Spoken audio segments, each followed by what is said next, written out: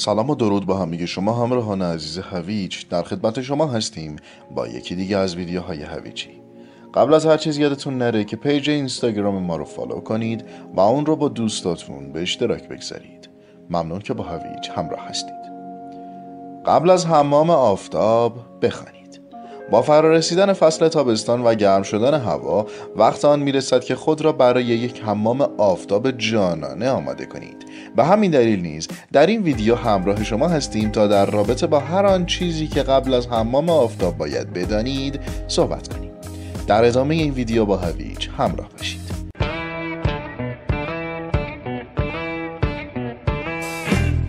حمام آفتاب یکی از رایجترین راهها برای برونزه شدن پوست است که اتفاقا امروزه طرفداران بسیاری پیدا کرده و به نوعی نیز تبدیل به یک مد شده است.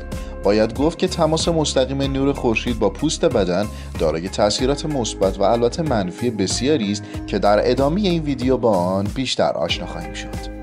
فواید حمام آفتاب به طور کلی می‌توان گفت که تابش نور خورشید بر بدن انسانها تاثیرات مثبت زیادی دارد. اولین نکته که می‌توان به آن اشاره کرد این است که خورشید به عنوان منبعی از ویتامین دی طبیعتا می‌تواند پوست شما را از این ویتامین سرشار کند. ویتامین دی برای افزایش قوت استخوان و دندانها جلوگیری از زوال عقل و آلزایمر حفاظت از سیستم ایمنی بدن کاهش تنگی نفس و غیره مناسب است و می‌تواند حتی از بروز سرطان نیز تا حدودی جلوگیری کند. علاوه بر این می‌توان گفت که تماس نور خورشید با بدن شما می‌تواند سبب کاهش استرس در وجودتان شود. دلیلش هم آن است که آفتاب سطح کورتیزول بدن شما را کاهش می‌دهد. کورتیزول در واقع همان هورمون استرس است که در برخی از مواقع اشتهای شما را زیاد کرده و می‌تواند باعث افزایش وزنتان شود. حال اگر بخواهیم به طور خاص موضوع آفتاب گرفتن را مورد بررسی قرار دهیم می توانیم مزایای دیگری را نیز به این لیست بیافزاییم. برای مثال زمانی که شما آفتاب می‌گیرید در واقع فرصتی را ایجاد کرده ای تا موهایتان نیز سلامت بیشتری پیدا کند. تحقیقات نشان می‌دهد که حمام آفتاب می‌تواند از ریزش مو جلوگیری کرده و به رشد موی شما کمک کند. به علاوه آن که حمام آفتاب می‌تواند در درمان آکنه و اختلالات پوستی از جمله اگزما تاثیرگذار باشد.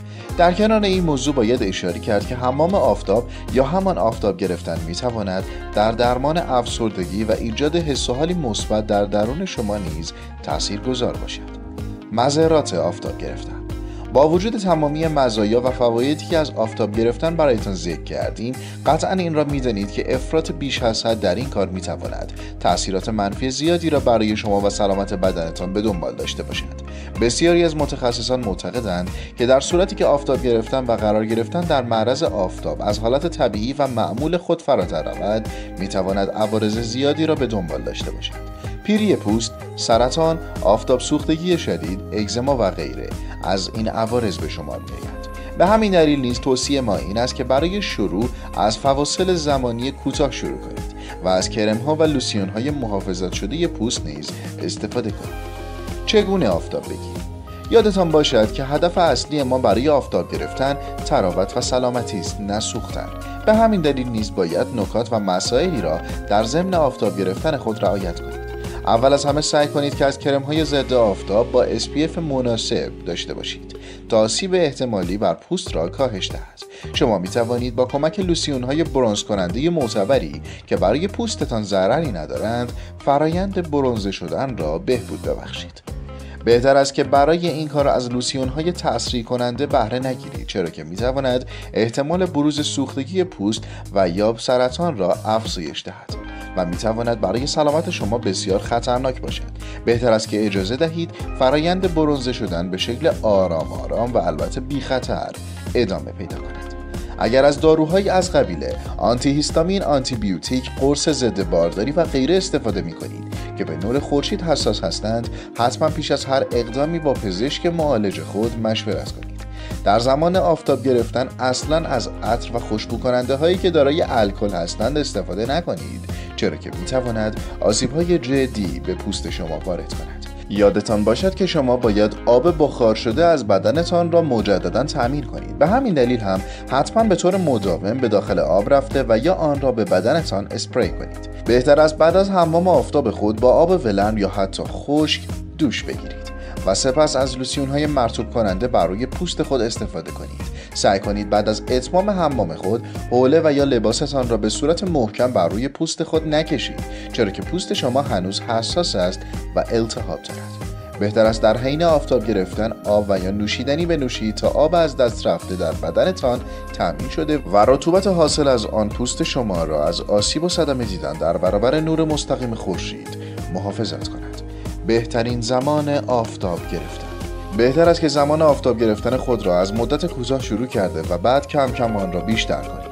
معمولا توصیه می شود که افرادی که پوست سفیدی دارند این زمان را بیشتر از 20 دقیقه نکنند و این زمان می تواند برای سایر افراد تا حد اکثر یک ساعت ادامه پیدا شما می توانید برای ایجاد یک نواختی در تابش نور خورشید بر پوست بدنتان گهگداری حرکت کرده و راه بروید تا در نهایت نیز پوستتان به صورت یک نواخت و یکسان برنزه شود. این کار می تواند در فعال نگه داشتن متابولیسم بدن شما نیز تاثیرگذار باشد. در صورتی که دچار آفتاب سوختگی شدید شدید تا زمان بهبود کامل اکیدا از تماس با نور آفتاب خودداری نمایید معمولا توصیه می شود که برای آفتاب گرفتن در بازه زمانی نسبتا مشخصی از روز اقدام کنید.